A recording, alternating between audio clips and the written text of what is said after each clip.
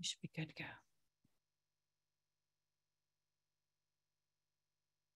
Do you want to get started now?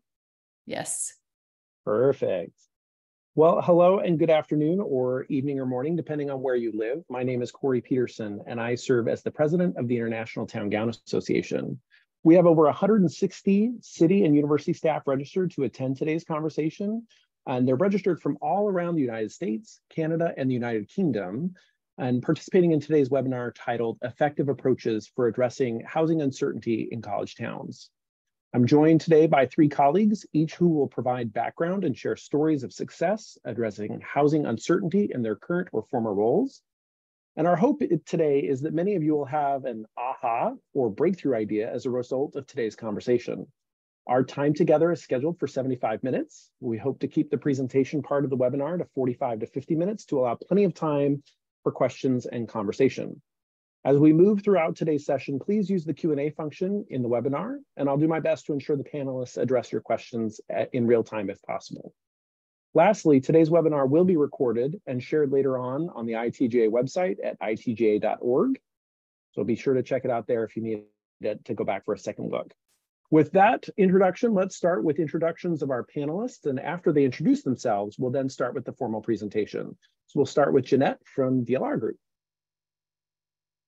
Hi, everybody. My name is Jeanette Walton. I'm uh, an architect and principal with DLR Group located in our San Francisco office. So I'm in the morning section of the day. um, I've been working in both multifamily residential and higher education for almost 18 years.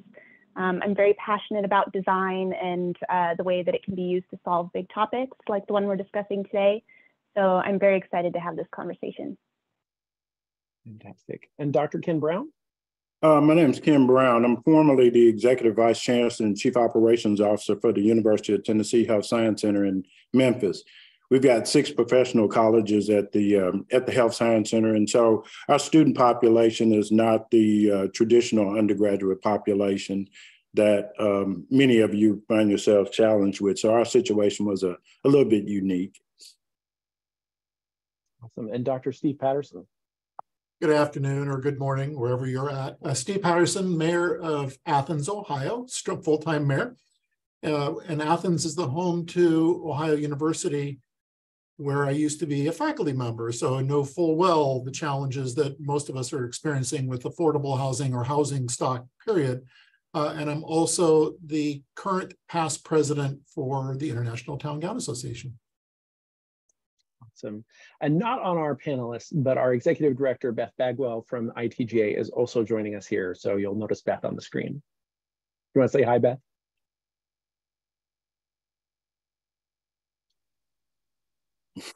Hello, everyone. It's good to see you. We're so excited to have to have this robust conversation today. Perfect. I'm going to go ahead and start to share my screen. Um, if I could ask one of the panelists to give me a thumbs up to make sure that is coming through loud and clear. Perfect. Thank you. Um, we will start with um, Jeanette. I think you're up first. And just let me know when you'd like to advance to the next slide. Okay, great. Uh, thanks, Corey. I've really been looking forward to this conversation about uh, what is a very big topic. And I really appreciate the desire for a solution focused conversation um, sometimes it's really easy to get lost in the problem, especially uh, a problem of this magnitude.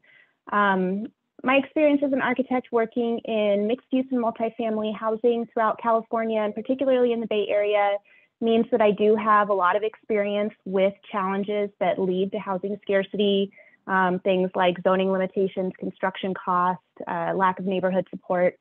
Um, but in trying to think specifically about solutions that are either focused on serving local institutions or have similarities that make them worth discussing, um, two themes really started to emerge for me. The first being uh, design solutions, which of course, as an architect, I can't help but think that just about everything falls into this category.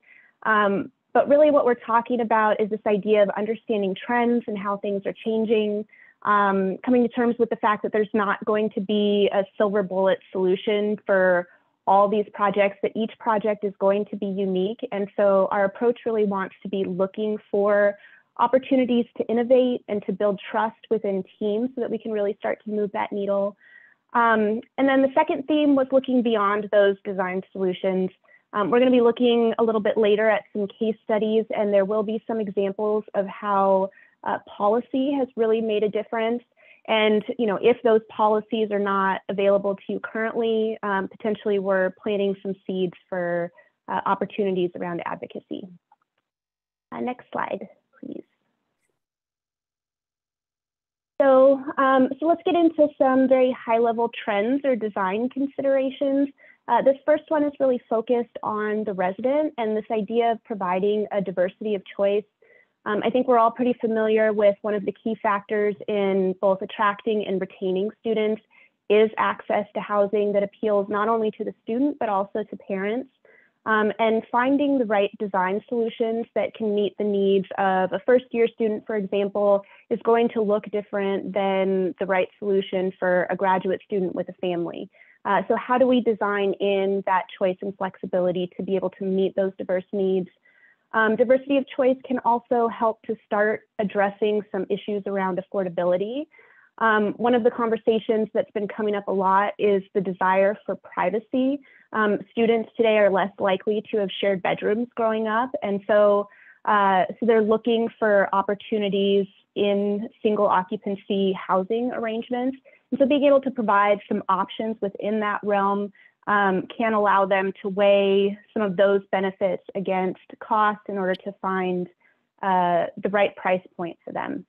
Next slide.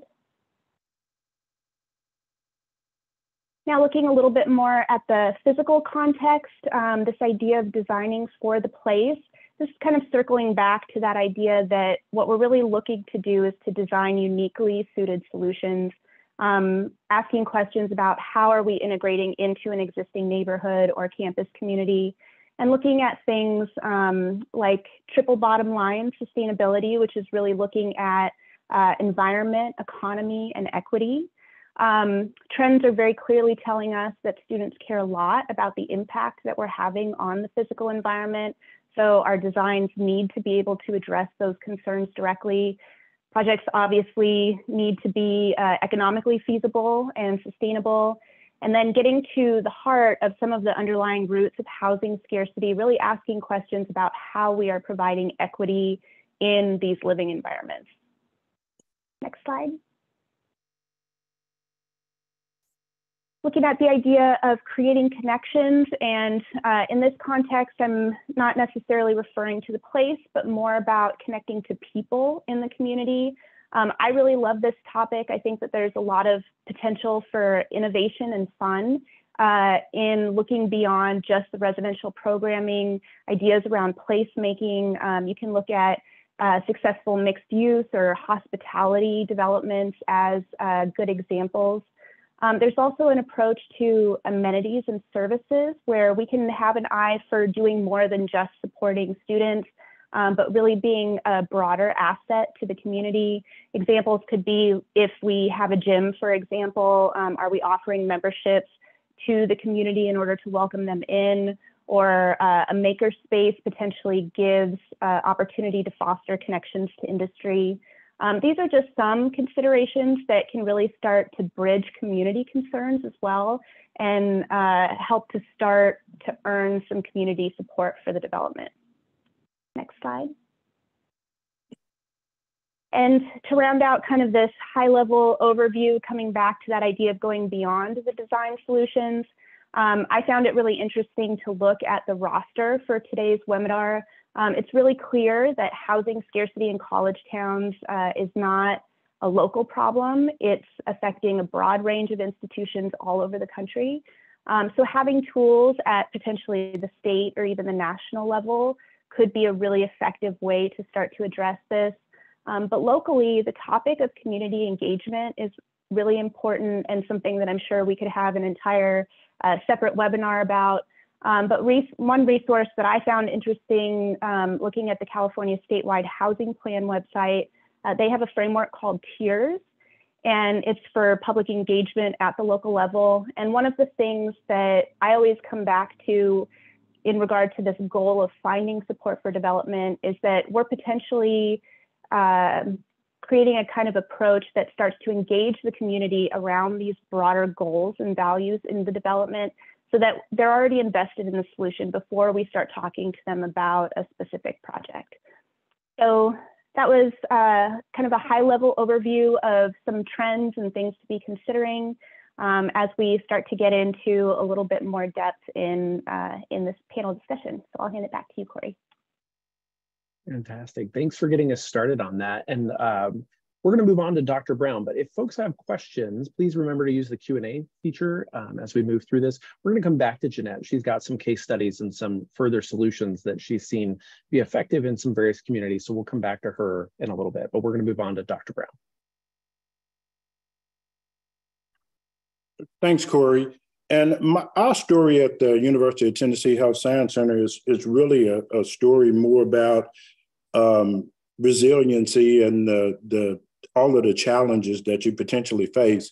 You know, had I known um, Jeanette and had I known Steve before um, I started this project many, many years ago, my life would have been so much easier. So I certainly encourage uh, the audience to rely upon them and the, the, the benefit of their wisdom because many of the challenges that I faced were around the things that uh, Jeanette talked about and some of the things that Steve will talk about. So our story began, um, you know, almost 25 years ago when I first came to the University of Tennessee Health Science Center.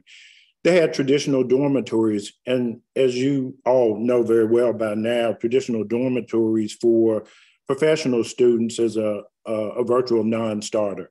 Our students have all gone to undergrad institutions, some of the finest institutions in the country, um, successfully matriculated and now embarking on professional school, either as medical students, dental students, pharmacy students, uh, PhD, basic science research students, and or um, in the allied health professions. So by the time they come to us, they're certainly not even remotely considering living in a uh, in a dormitory situation, and that's what the University of Tennessee had some 25 years ago.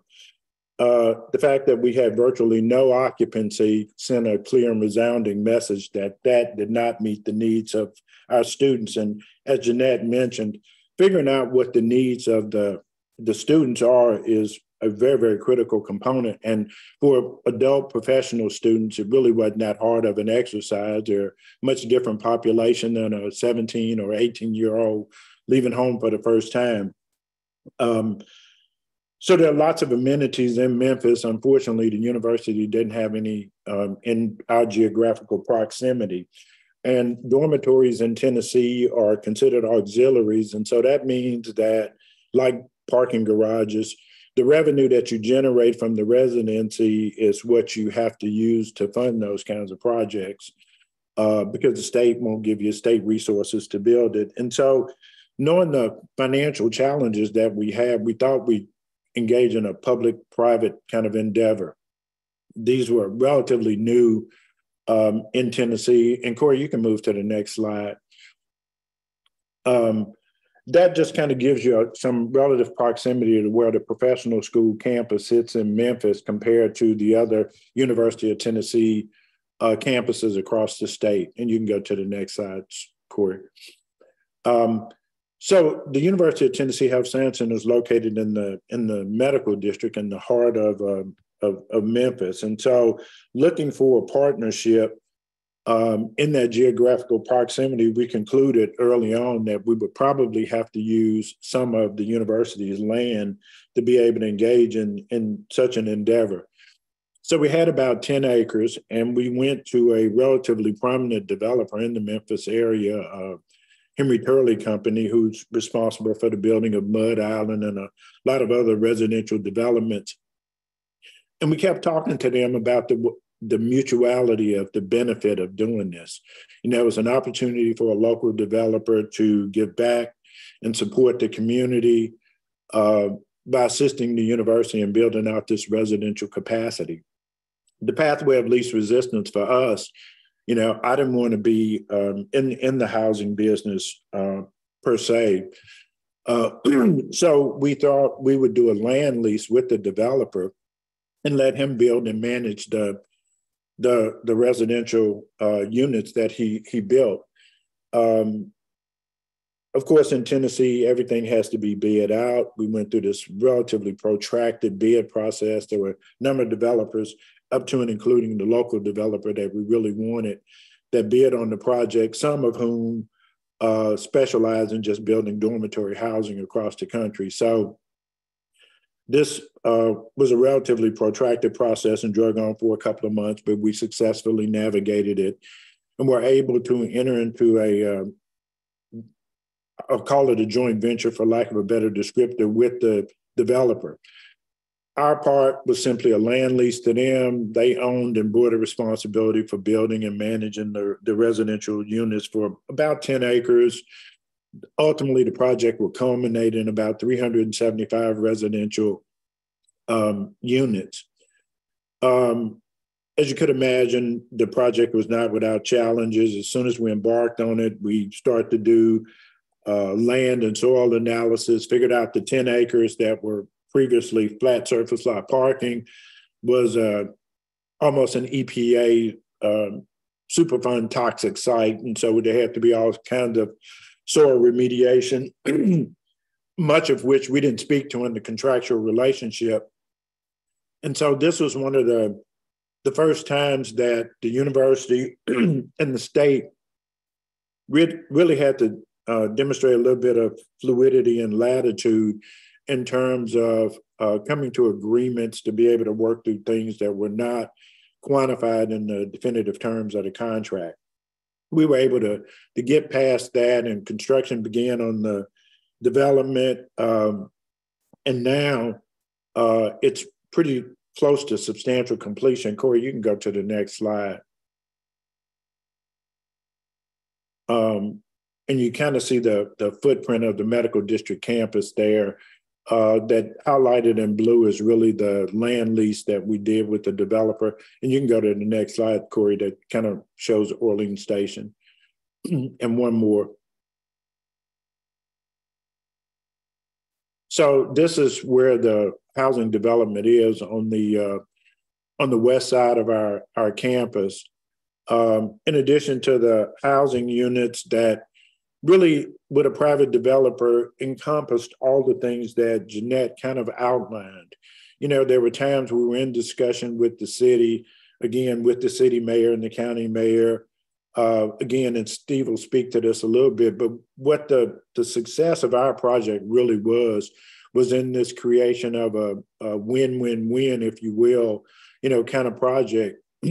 About 20 years ago, there was this huge migration from downtown Memphis this housing development was really one of the first uh, opportunities for that resurgence of people living down in the medical district. People don't want to live today's students and today's professional workforce don't want to live in the suburbs with you know two acres and a and a picket fence. You know they're more inclined to live in uh, in some relative proximity close to where they matriculate as students and where they work as uh, as professional employees in our in our adjacent hospitals. And you can go to the next slide, Corey.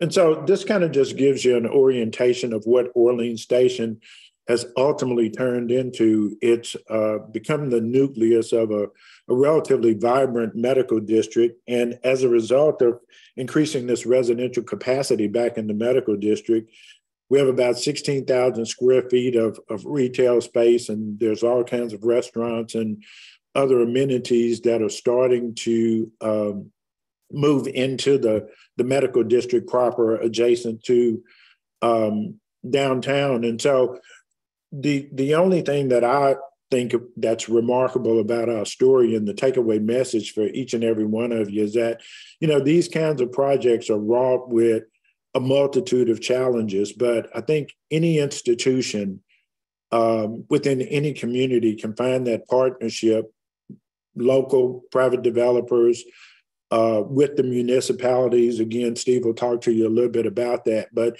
but our story uh, was was wrought with a multitude of challenges, and um, you know I think the the commitment and the support that we were able to align with again private developers and and you know local and state support uh, was ultimately what made this you know project successful and so Um, I'd certainly welcome uh, questions from you all. I can speak to um, navigating the challenges, um, you know, more than anything else, because, you know, I think it'll go without saying that, um, you know, these kinds of endeavors are not easy, but certainly they're they're manageable and they're doable. And so I, I think, you know, any institution out there that's looking for a project akin to this, um, you know, has the capacity to be successful in doing it. So I'll turn it back over to you, Corey.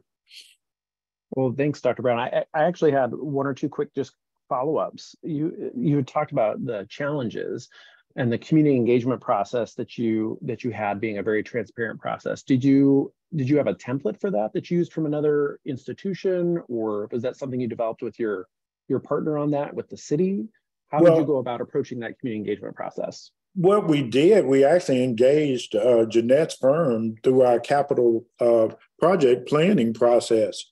Um, and as a part of our uh, capital planning project, we laid out a five year master plan for the university. We held public town halls, we held public forums.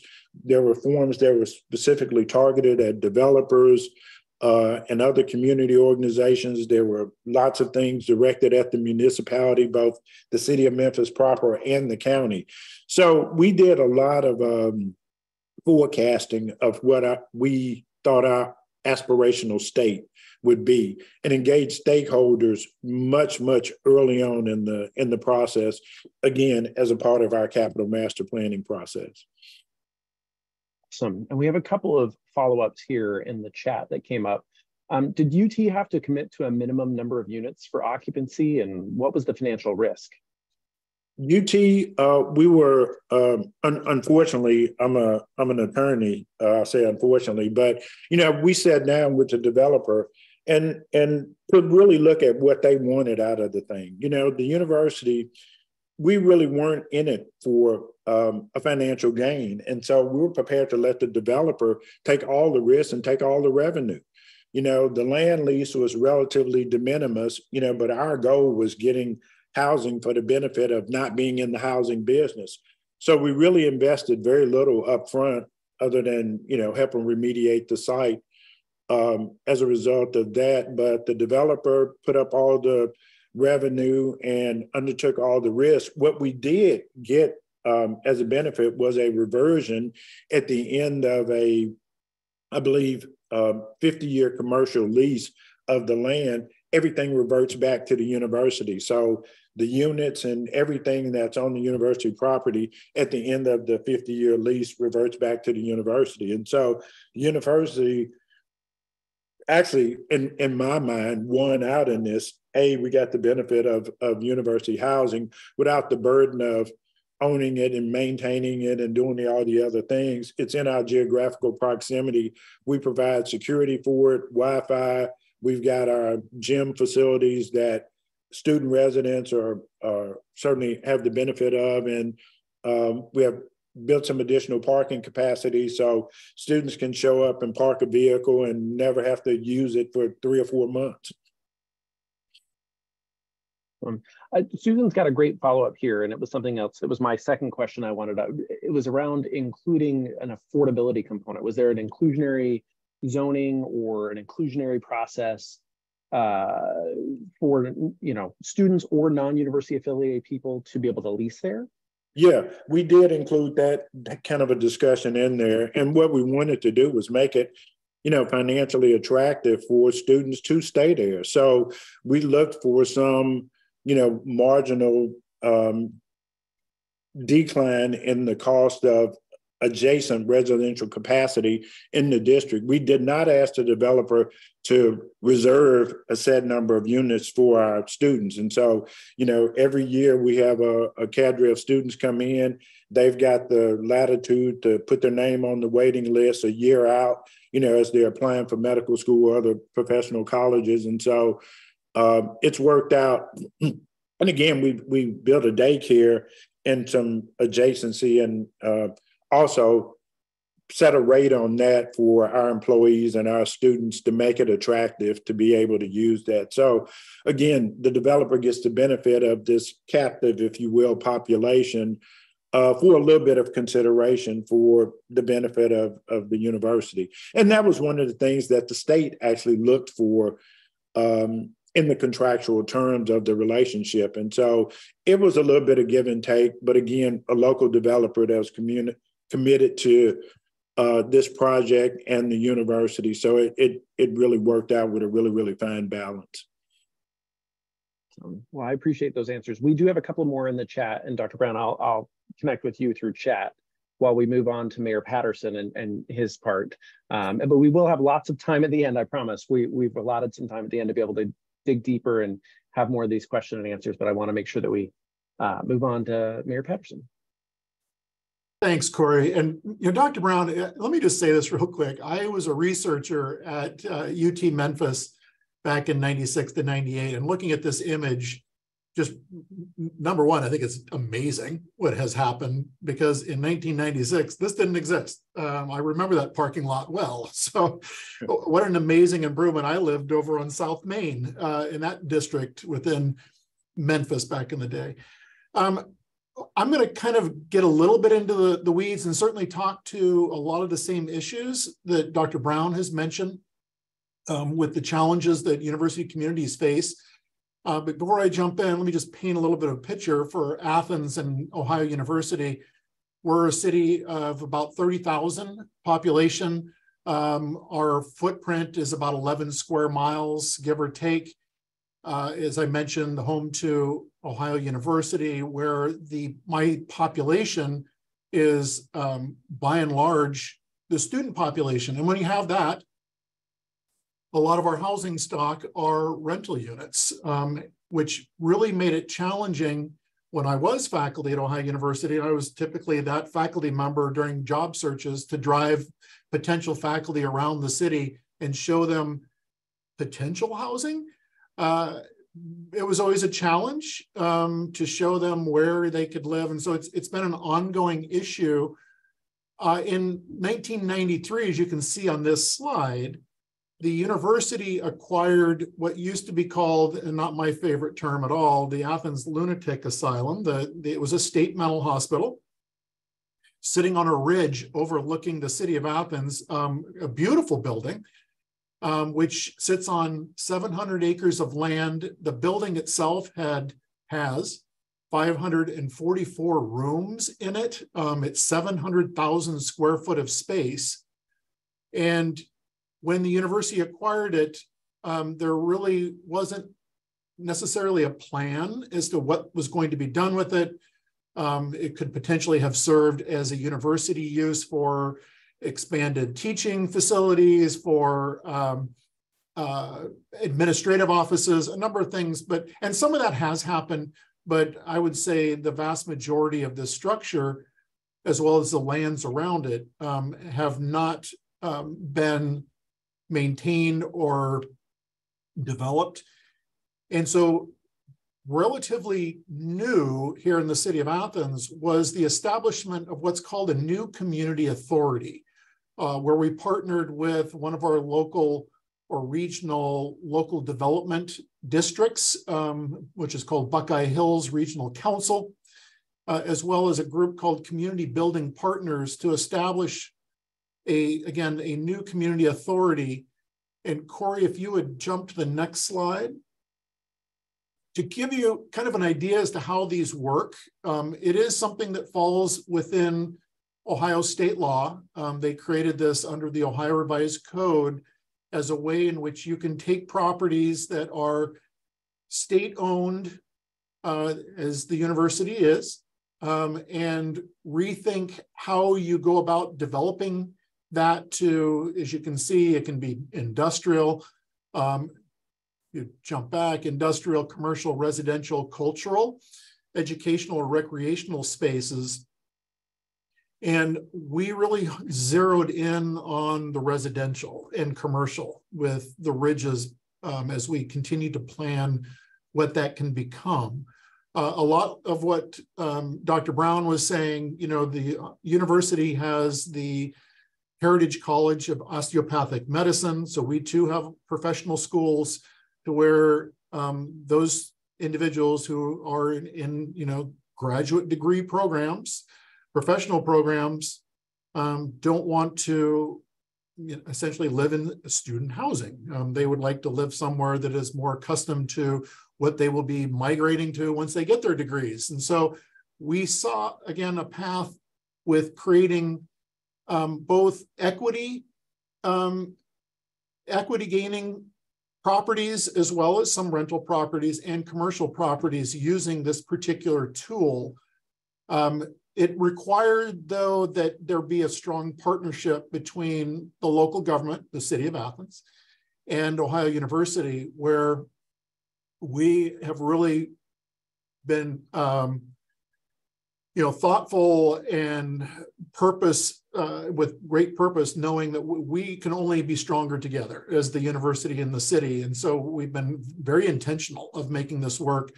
Uh, the new community authority as a part of that partnership between the university and the city, university knowing that they needed to figure out a way without um, a project of this size, as you can tell, is a $220 million project at the end of the day in terms of just the redevelopment to make condominium housing, to make uh, some rental units up there, to make some freestanding.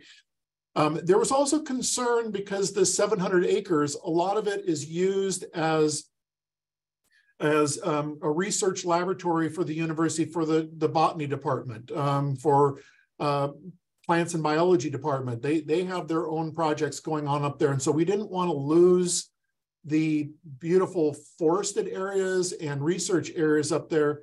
So with the new community authority, we were able to draw it down to where it's going to be 100 acres or yeah 100 acres of the ridges property that will be up for redevelopment or new development. Uh, and then the remaining under it will be under a nature conservancy. So there'll be a deed restriction on the remainder to where it stays open spaces um, which will be wonderful. We can also add you know additional outdoor recreation and park areas to this development in the future. Um, some of the other things that are interesting with this, with having a new community authority, is that with the authority, which initially the board is set up with city representation, uh, my service safety director sits on it as well as a city council member. And then the university has appointed individuals. So it starts as kind of a, a pretty formal structure, um, which has the ability to um, self-select a developer to come in or developers in this case, because it'll be retail developers, commercial developers, um, housing developers, um, recreational space developers that will come together and, and make this all work. So again, to, to not be held to um, having to go out through the bid process, the new the new community authority can go in and say, okay, um, these individuals have shown a strong track record of being able to develop and we can self-select um, based upon um, their credentials, which we feel is the appropriate way to work as well. Uh, cities and university state properties cannot do that um, because of statute. Um, they can also issue bonds, which is important. This is no different than a port authority um, you know, being able to do something like this. So um, that's something that's also being explored. Uh, it also allows us to pull some other levers, what I'm to, which I'm going to get to in just a minute with another project that is going on in the city, um, such as tax uh, increment financing. Uh, it also allows us to um, help with a capital stack for a developer to not have things like um, a capacity fee or tap fee for your water system yet uh, because we know that there's going to be people living in them and that the, it's going to benefit the city, uh, especially since we are an income tax based city. That's where our general revenue comes from. Or if you want to flip to the next slide real quick. Uh, this is kind of giving you a bird's eye view down onto the footprint of the ridges um, to also further um, put an exclamation mark on the city university partnership. Everything that's in yellow, those are city properties. Um, a lot of it are, is parkland um, or you know uh, playground areas. Um, one of them up in the over on the left hand side of your screen is a baseball diamond and a miniature golf course that is city owned and operated, right? Uh, and then there's state lands, and then there's the university lands, which is primarily the, the Ridges Kirkbride building, the building that was in the previous slide. Um, and so what you see in the hash mark area is what has been requested from the city to basically deed into the new community authority for development for this project, which will be equity bearing housing projects um, in that hashed area, uh, and then some other features. So the, the city has skin in the game, um, you know, in a true partnership way to make this work at the end of the day because of us knowing the need that we have for housing so that we can continue to grow. Uh, Corey, next slide. I want to kind of transition away from the new community authority and at least explain a way in which, again, we have been helping developers and in particular on green spaces, so undeveloped properties or areas where in this day and age, for a developer to, to come in and try to build housing, affordable housing for your community, and if they have to put in the infrastructure, so water, sewer, storm, and the roadway itself, it likely is never going to pencil out because it, it just for the price point that they're going to have to realize it it uh, it, it becomes very challenging, uh, if not impossible. So using something that um, some of you may be familiar with, using tax increment financing or TIF financing, there is a way in which we are able to incentivize or help with the capital stack for a developer on a green space, undeveloped space, um, which is really uh, helpful for my community. Um, in particular, using what's uh, called a non-traditional tax incremental financing or neighborhood revitalization TIF, um, where there is a property tax 75% capture for a 10 year period of time. So if you have green space and now you're building houses on that green space, the valuation of that property clearly is going to go up significantly. That increase in property value, the city is able to capture 75% of that increase for 10 years. And we can use that then to basically pay back to the developer for the roadway that they've built, the water, the sewer, the storm. Um, and therefore, it really helps them figure out okay, now we can concentrate on keeping the price point for the houses lower so that uh, uh, and not have to worry about the infrastructure that's in place or not in place that has to be built out. There's also um, the, uh, what's called a traditional TIF, um, which are typically 100% capture for a 30 year period of time. The one thing that becomes challenging with these is that it is going to take away for that period of time revenue that would go to your school district or go to other um, entities that are relying on property tax um, to to uh, for their revenue, uh, whatever their revenues, you know, if it's that part of their revenue stream. Um, and you have to get permission and a vote from the school board to make something like that work. We have a couple TIFs, uh, or one TIF in particular, in the city that's a traditional TIF. Uh, but for these neighborhoods, we're going to use these 10 year, um, 75% captures moving forward to help with housing development. Corey, if you'd go to the next slide, just to kind of give you an idea as to where we're using one right now.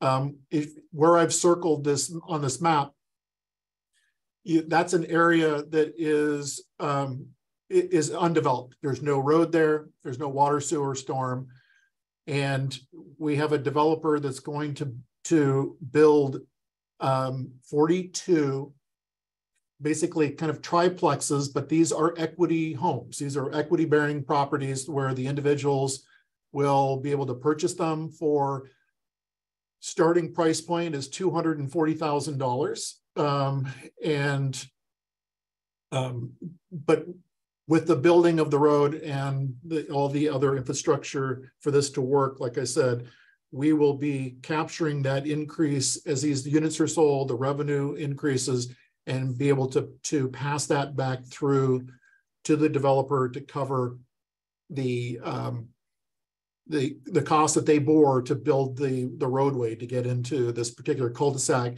The walnut court that you see on the bottom of the screen, that already exists. Um, and so we have the ability to tie into our water sewer and storm to make this work.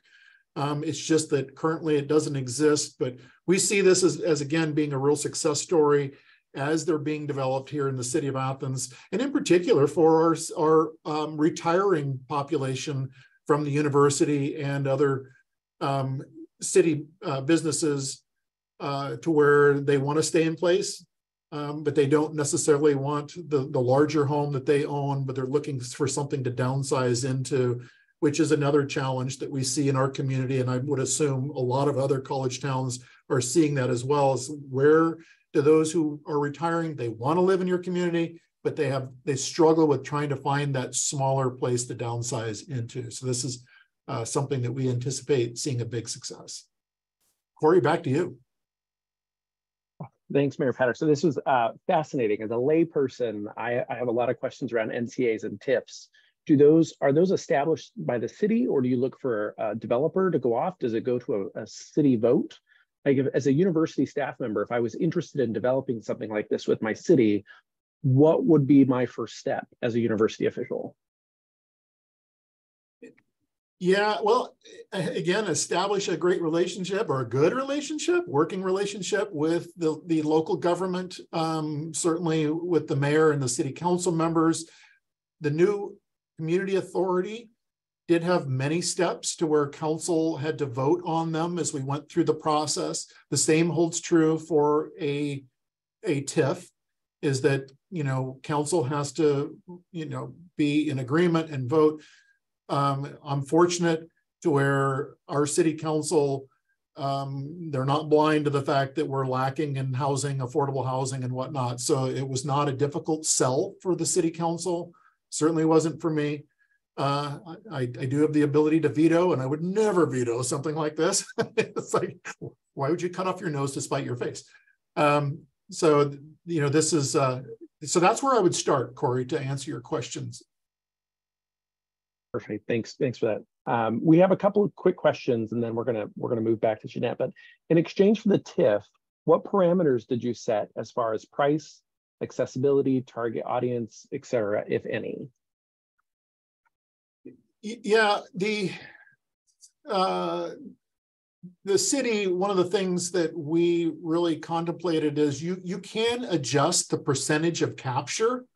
Um, you can make it less if you choose to, in terms of of where you land um, with having something develop. It doesn't have to be 75%. You can, and you can also, um, quite honestly, you can work with your school district um, because I think a lot of times they're going to feel like, well, we're losing revenue.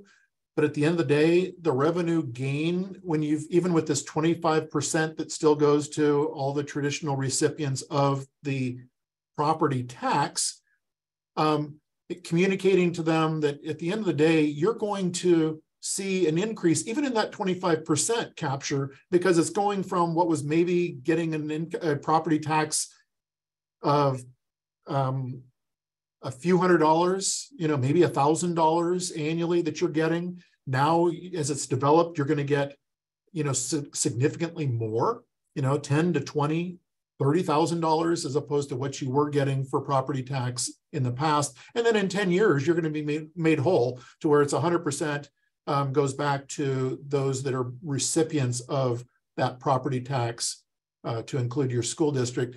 So again, there, there are levers we can pull, things we could can do. The other thing that we can do is we can make adjustments, like I said, to our water or sewer tap fees that we have as a city. Uh, so we were pretty intentional of knowing what levers we can pull and, and levers we can't. Perfect. Um, Mayor Patterson, there are a couple of more in the chat. I'm going to let you answer those offline, and we're going to move to our next part of this presentation. We do have an open Q&A coming, and I just want to recognize everyone that's here and, and thank you for joining us. We have folks again from all around the United States, Canada, and the United Kingdom joining us. This is an exciting conversation. We're going to move into our final part of the presentation, and then we'll go to some open Q&A from our participants. So back to you, Jeanette. Great. Um, so I have a series of five projects that I want to walk through as case studies um, with some solution examples that range in scale from an approach to unit design all the way up to conceptual master plans. Um, each of these projects has its own very in-depth design story, and I'm going to do my best to not get into the weeds with any of them um, specifically, but for our purposes, really focusing on what the aspect of innovation was. And, um, you know, obviously we can go into more detail in the Q&A if there's more questions. Um, so the first project that I want to talk about is the Panoramic. Uh, this is an 11-story housing development located in uh, San Francisco's south of Market District. It's located in relatively close proximity to both the California College of Arts and the San Francisco Conservatory of Music. Um, when this project opened in 2015, CCA had pre-leased uh, levels two through six for its students in the building, and then the upper floors were available to rent on the open market. Um, building amenities included actually just one parking space uh, for car share um, because this is in a very transit rich area of the city. Um, there was lots of bike storage, there was a bike repair shop, uh, there was a roof level deck and a really nice um, lobby lounge with, uh, with a fireplace. Um, next slide. So the real innovation for this project was the development of, it was actually San Francisco's first 120 true micro units, meaning they were units that were less than 300 square feet. Um, this included a private bathroom and a kitchen and uh, potentially one or two sleeping areas. Um, the project team had to bank the case to San Francisco planning uh, around both the affordability of these units and the livability of these units. Um, the design used uh, millwork kind of creatively. Um, they had the ability to transform designing spaces into sleeping spaces, and there was lots of storage. And connecting back to the idea of providing a lot of diversity of choice, in addition to the 120 micro units, there were also 40 suites um, within the building that had the ability to also adapt between uh, three and four tenants, depending on whether you wanted to have a living room. so there was some flexibility there in how to um, how to make the units work for for the tenant. Next slide. So this is a conceptual project. Um, it's called All Paths Lead to Oak Ridge, and this is really a study around alternative land use opportunities for surface parking lots, which we did talk a little bit about already.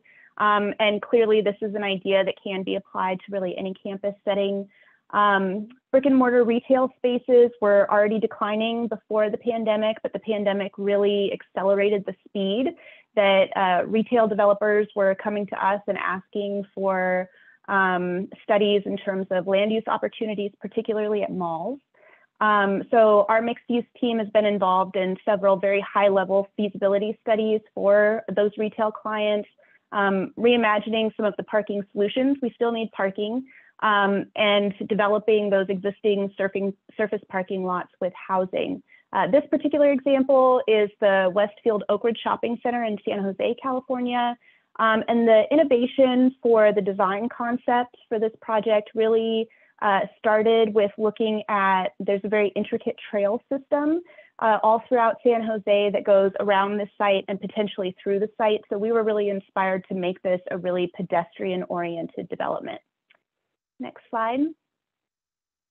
So in the middle of this section, um, the team explored basically making a parking garage that essentially raised that pedestrian level experience above the garage um, in the section that's shown as the crest.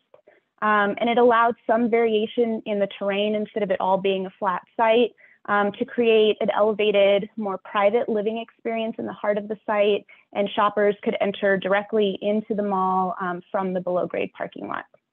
Next slide. Uh, this underground garage, in conjunction with a few other on-site solutions, created space for the development of over 1,400 units. Um, there, there's also a 12-story office tower, a hotel, and enough parking to not only still meet the requirements of the retail, but also to park the, uh, the residential and the office building um, while still maintaining that experience of a really pedestrian friendly development within the, the residential. Next slide. Park Merced, uh, this is also in San Francisco. This is really a story about being very respectfully, um, as we're reassessing a master plan that's not meeting uh, current density needs with the goal of really creating a vibrant neighborhood. Um, Park Merced is very close to San Francisco State University. It's just south of the university and was originally developed in the 1940s by MetLife. Um, and it had this vision of creating a suburb within the city that was really targeting returning servicemen and their families. Um, the development was characterized by garden apartments and uh, really wide vehicle boulevards. Um, then in the 1950s, San Francisco was experiencing a housing shortage and uh, MetLife added a series of high-rise apartments that are still in pretty good condition today. Um, however, you know, the very car-centric layout and the lack of retail and other community services really prevented this from feeling like a vibrant neighborhood, which we have all throughout San Francisco. Um, and so the buildings really started to suffer from neglect. Um, this led to a very robust community engagement process. I think uh, they're saying there was over 500 meetings with the community um, and really developing a revitalization plan, um, of which phase one was actually approved in 2015. Next slide. So block 20, so within this uh, larger development, there are specific projects that were identified for phase one. And so block 20 was DLR Group's contribution to this redevelopment. Um, it has a 17 story high rise and an eight story mid rise with 266 units. Um, there is no direct connection between the Park Merced redevelopment and San Francisco State University, but the proximity of the university um, to this development really influenced the unit mix. And so the innovation on this project was the ability to offer student-oriented micro units within a market rate development, um, really acknowledging the importance of integrating the student community into this new uh, vibrant development. Next slide. Uh, the last two projects that I want to share briefly are really focused on the ways that California state laws and policies have resulted in the ability to, to develop more density. And, you know, as I touched on earlier, I know that these kinds of tools are not available in all parts of the country, but I did want to talk about them so that we can start to share examples of, um, of policy that might be worth advocating for in your community. So the first one is Hub Berkeley. Uh, this is a stu student-oriented high-rise development located directly off the UC Ber Berkeley campus in California. Um, Hub is actually one of three high-rise projects being proposed in Berkeley currently. Um, Berkeley is really looking for opportunities for more student housing following a lawsuit against the university that was arguing that um, they were in violation of CEQA, which is the California Environmental Quality Act, um, due to increasing enrollment without uh, analyzing, properly analyzing the impacts on housing. Um, so the innovation of this project was using the California State Density Bonus Law to go from a 17 story high rise with 285 units to the tallest proposed building in Berkeley at 26 stories and 485 units. So it was an increase of 200 units. Um, the, the California Density Bonus Law allows for developers to build beyond local zoning limits uh, based on providing a certain percentage of affordable units within the project.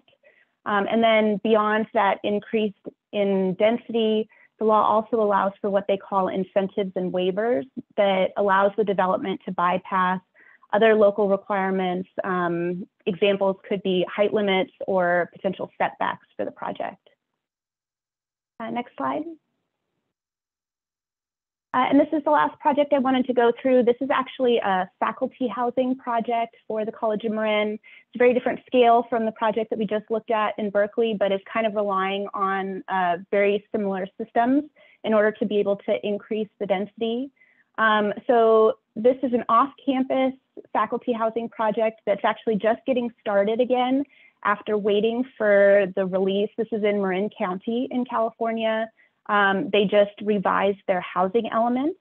Um, so as we touched on earlier, California released a statewide housing plan in 2022 um, that laid out targets for new housing to be built all across the state. And local municipalities were charged with revising their housing element to reflect their plan to meet those targets.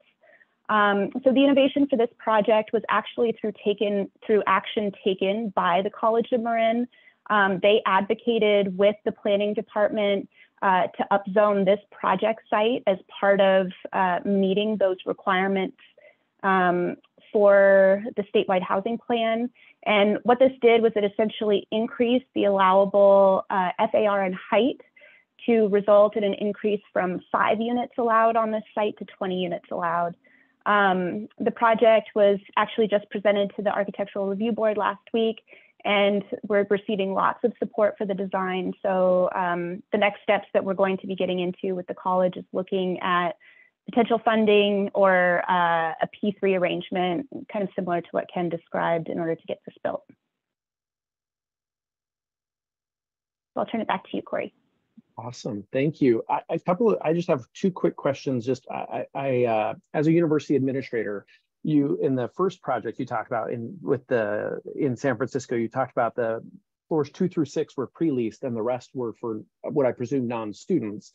There's a perceived notion out there that students and non-students living together in a high-rise complex is is not good. Our you know students might misbehave or there might be another issue with a non-student and how do we protect our students has that come to bear or is that something that was addressed through the community meetings because um, I'm, I'm again really interested in that particularly here in washington d.c where um, housing is is a premium and that could prove to be something very valuable yeah, I think that there there is a little bit of a stigma um, around really trying to integrate these different um, communities together, but I think that it's actually ha happening um, in our cities, when we're not providing sufficient housing on campus, students are living within our communities. And, um, you know, I think that it really enriches the, uh, the community itself. So uh, there were no issues that I was aware of, um, but I think really changing that mindset of needing to keep things separate and really looking how to uh, blend these together is something that's going to allow us to really take advantage of opportunities like this. So one that gives hope for us uh, in the future. Yes. And then uh, uh, as, as someone who leads community engagement processes, I was surprised to hear with Park Merced that there were over 500 meetings. Do you have a sense of how long that took to go through? Just because I, I mean, these things don't happen overnight. And I think that was a really valuable sort of hearing that. I was like, wow, that's a, that's a lot. But do you have a sense of how long that was? Yeah, so I my understanding is that those meetings started in 2006 and they got city approval in 2015. So uh, it's definitely a long process. Um, but you know, when you're really trying to make a meaningful change at this scale, uh, it is worth the investment of time. Awesome. All right, well, I'm going to advance. I've got a couple of things I need to run through really quick, and then we're going to open this up. I'll stop sharing my screen, but I wanted to uh, a couple things. So uh, we have an upcoming housing survey that's going to happen. This is ITGA and the DLR group are working together to better understand the unique issues, challenges, and trends experienced by ITGA members related to housing affordability and housing insecurity for post-secondary institutions and their host communities. Uh, this town gown approach is important to holistically understand the variables at play, highlight the effective approaches, strategies, and tools, and position members to successfully address the foundational issues that hinder campus and community and co constituent well-being. There will be two questionnaires. One questionnaire is going to focus on college and university needs for students, faculty, and staff housing. And I want to make sure that folks hear that. It's not just students, but also faculty and staff housing. And then there'll be a companion questionnaire that will focus on municipal and community perspectives around housing needs for permanent residents and those facing, facing housing uncertainty. The survey analysis and base data is going to be shared with our members so they can use the results as a resource for decision making. And the outcomes of the survey will be provide material for academic and professional research, white papers, articles, webinars, in the future, conference presentations, and opportunities for coordinated and ongoing engagement between cities and universities. Um, we anticipate launching these questionnaires before the end of November, so be on the lookout for those. And if you have questions about the project or would like to assist in that project, please email ITGA's Executive Director, Beth Bagwell at beth at itga.org. We'll get you connected there. And then uh, second, later today or tomorrow, you should receive a short six to seven question survey about today's webinar. Uh, we'd really appreciate a few more minutes of your time just to provide us some feedback. And we welcome all feedback. That includes both positive and constructive. Uh, learning together is what helps us all improve our communities. And we thank you in advance for your time. I would drop that link in the chat, but I don't have the ability to drop that to all participants. So we'll, that will be sent out following um, today's webinar. All right, I want to move. I, the next part is questions and conversations. Um, so we're gonna, I'm gonna unshare my screen so that we can jump into a few of these here. And I would encourage folks to use the Q&A part um, and we'll get into it.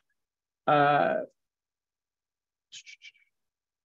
let's see here. Well, I see Dr. Brown's answering this, this one here. Um, uh, Gail's got a question. Will the housing survey also include the cost of living in an area to assess if the housing is affordable?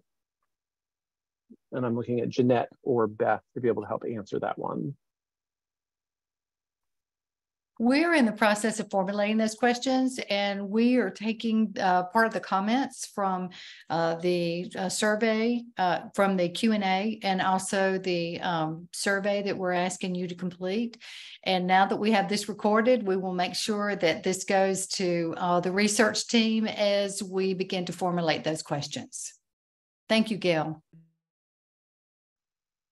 Uh, this is a great question that just, just popped in from an anonymous attendee here. Do you have any specific programs for faculty housing? And I know as someone who my prior institution was Georgetown, I work at American, we're in affluent neighborhoods and oftentimes housing is not affordable for faculty members.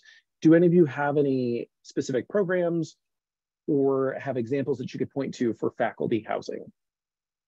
We we don't have any specific programs, but the the the way we discussed it with the developer, you know, they're single, um, you know, dual bedrooms, and then there's some family occupancy units in the housing development, and so certainly we anticipated that some of those may very well be uh, units that meet faculty um, more family oriented kinds of needs. And so, without specifically having a carve out for faculty, you know, we did anticipate that some units may very well be um, amenable to young faculty, um, you know, with family members to to reside there.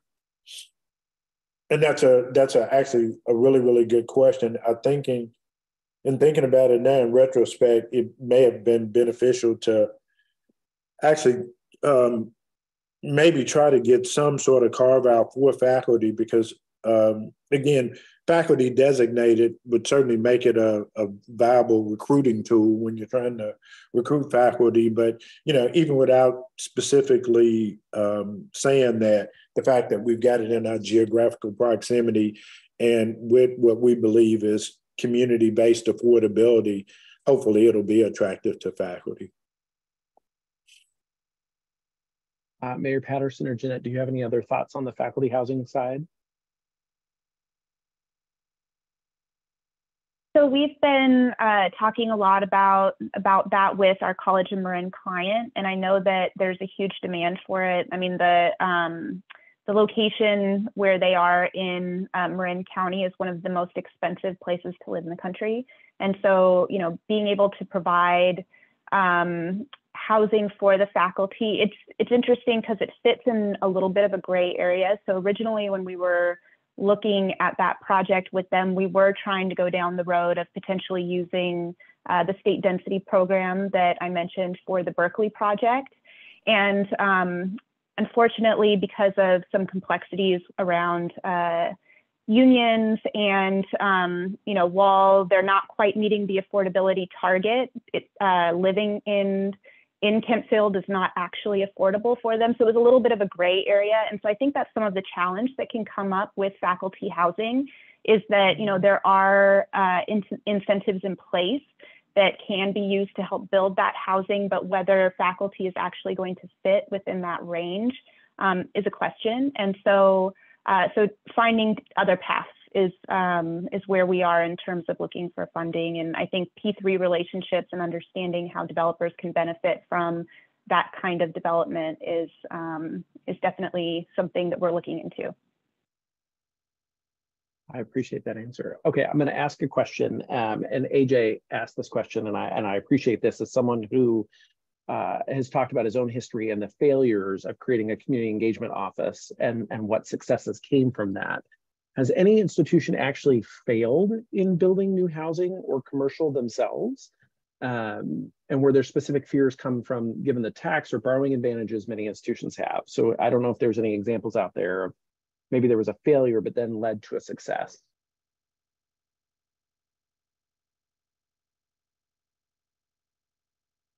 I don't have any examples. That's why, but I, am intrigued by the question myself. So AJ, I appreciate you asking it because um, we have to often talk about our failures to get to success. Dr. Brown, did you have a thought?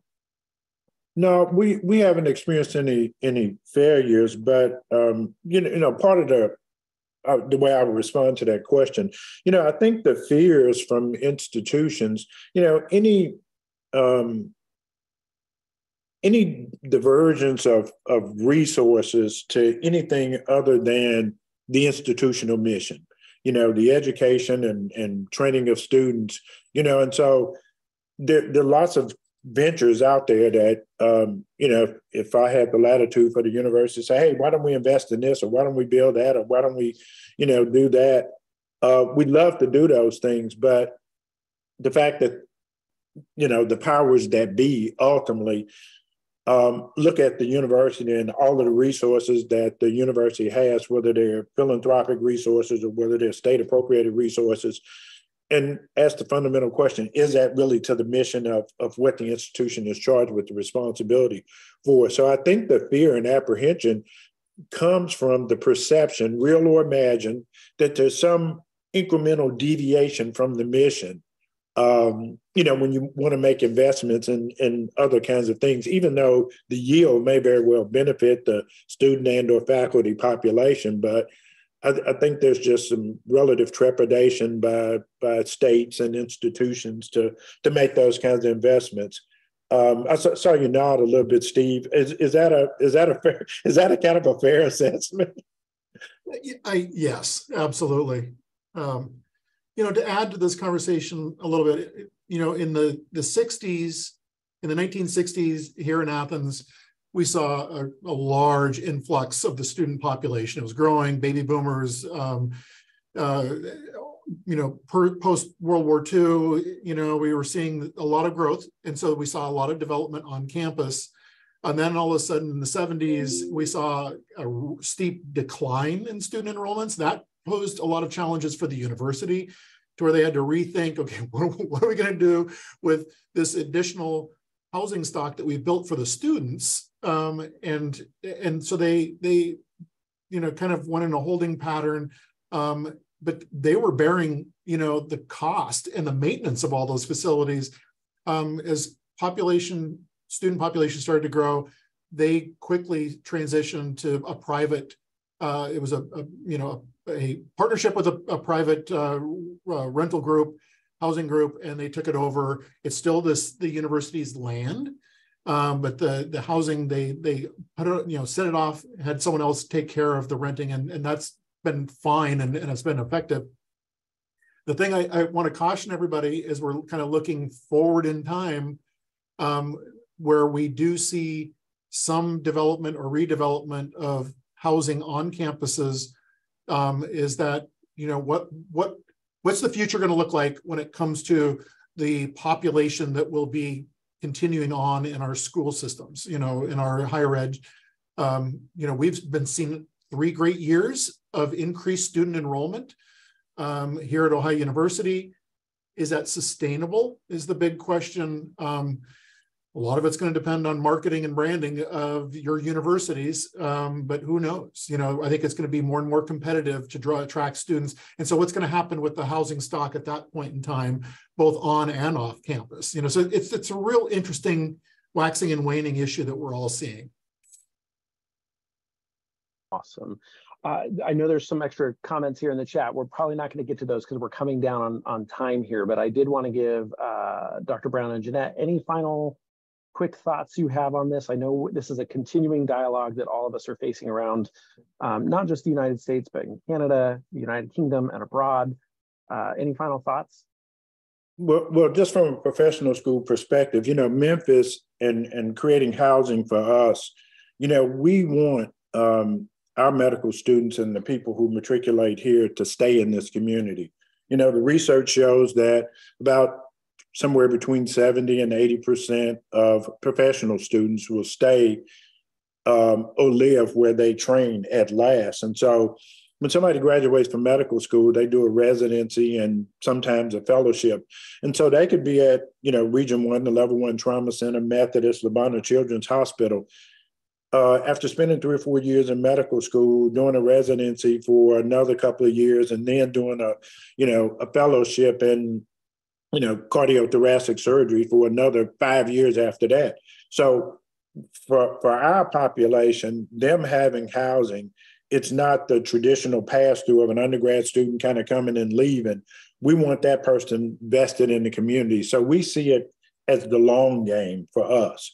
You know, giving those people residential capacity and the geographical proximity of where they're going to go to school and where they're probably going to work um, for you know, anywhere between four and 10 years.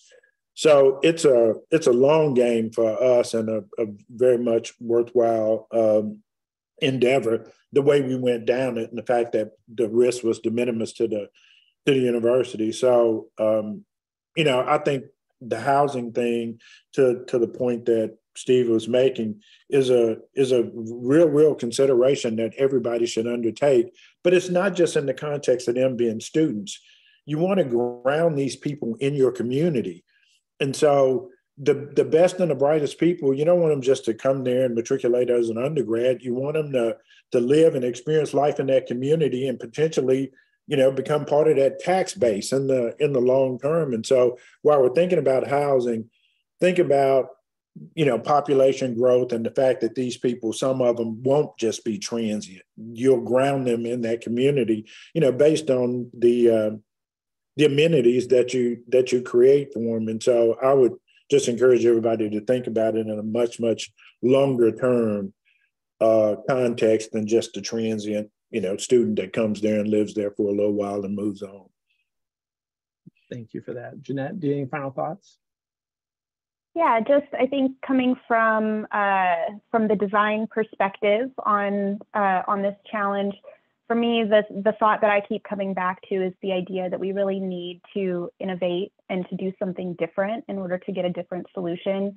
And uh, approaching that with a sense of adventure, you know, a little a spirit of um, of curiosity. I think all of those things are really important in order for us to break out of the mold of how we've been doing this and really understand what the opportunities are in each specific project ahead of us. Well, I just wanted to say a big thank you to our three panelists uh, for sharing your time and your talents with this with this crew today. Um, thanks to Beth Bagwell from ITGA for setting this up. Uh, if I mentioned this at the beginning, but I'll mention it again, this is being recorded. We will upload it to the itga.org website. Um, we'll follow up with a survey. And again, we would welcome any feedback, um, both positive and constructive, as we continue to, to think about this strategically and as a community of one, both city and university, um, thank you for your time and we'll see everyone on the next one. Thank you very much, Corey.